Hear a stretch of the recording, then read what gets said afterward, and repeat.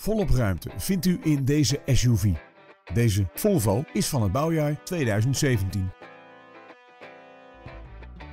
Een krachtige 5-cilinder dieselmotor zorgt voor de aandrijving van deze SUV.